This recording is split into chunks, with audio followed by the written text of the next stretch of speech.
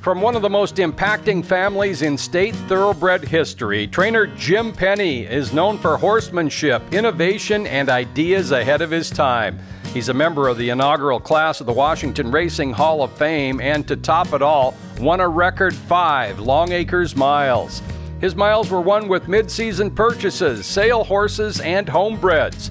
Jack Fabulich got fully involved in the family operation when marrying Penney's daughter Jill. He quickly grew to appreciate Penney's complete knowledge of the thoroughbred and the sport.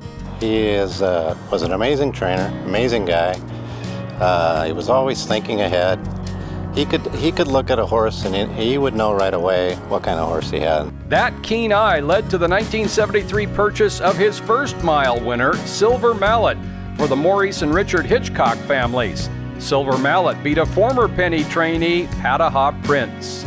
Yearling purchased Theologist was a four year old maiden in 1977 before winning four Longacres stakes, including the mile, for the Penney family and co owners Arden and Dave Archer.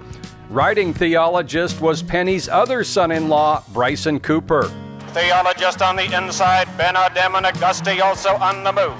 Theologist Ben Adam and Auguste. Theologist and Ben Adam, it's Theologist. All three of Penney's Emerald Downs mile champions were developed into route horses. Daughter Kay Cooper, who's run the barn day to day at Emerald Downs since the track's opening, emphasized that talent of her father. He really taught us how to stretch a horse out. I love taking a sprinter, developing into a route horse. There's always potential for that. Makes the owner have a better, more special horse in the end. Both Homestretch Farms Ed Nader and Bob and Bruce Sparling's Sabretooth hadn't won a route race or a stake prior to their mile victories. Ed Nader was 41 to 1 and Sabretooth 17 to 1.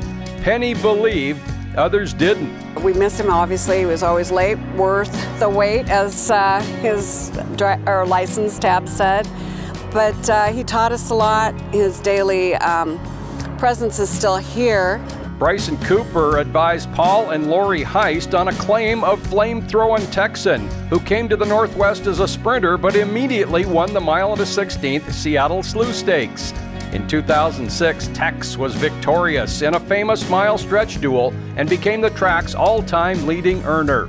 Puppy Chulo trying to nail Flamethrowing Texan. They're stride to stride. Flamethrowing Texan's equal to the task. Puppy Chulo comes back. Puppy Chulo and Flamethrowing Texan. Flamethrowing Texan the inside. Flamethrowing Texan unstoppable. When it came to the mile, Jim had a knack for knowing what uh, what it took to win the mile, and you know he was always thinking ahead. He he would see something in the spring and say, you know what, we we can get this done with this horse. So, yeah, he was he was quite a guy. I really miss him.